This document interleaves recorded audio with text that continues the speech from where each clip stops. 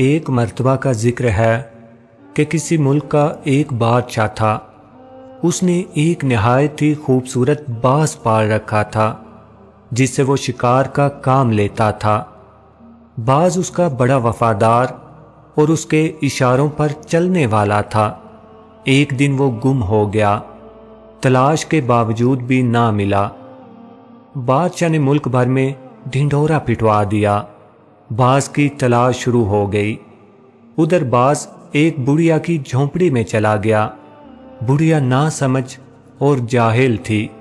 उसने बाज को देखा और कहा, तू किन नासमझ लोगों के हत्थे चढ़ गया है, जिन्होंने तेरे परों की तराश की? ना तेरे नाखून काटे और ना तेरी टेढ़ी चोंच को सीधा किया। सो उसने बाज की चोंच, परों और नाखून को काट दिया। और उसे बिल्कुल बेकार कर दिया। बादशाह के कारिंदे बाज को ढूंढते हुए बुढ़िया की झोंपड़ी तक पहुँचे और बाज को लेकर बादशाह की खिदमत में पेश करके सारा माजरा बयान किया। बादशाह बहुत रोया और बाज से कहने लगा, तेरा यही इलाज था जो बुढ़िया ने कर दिया है। तूने अपने मालिक से जो तेरी हर ज़रूरत को बेहतर समझता और तेरा ख्याल रखता था, दगा किया।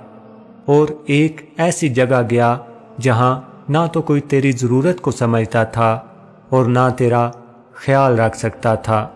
बस जिल्लत तो तेरा मुकद्दर होनी ही थी। सो वो हुई। मौलाना रूम फरमाते हैं कि बास से मुराद इंसान है और बुढ़िया से मुराद दुनिया है।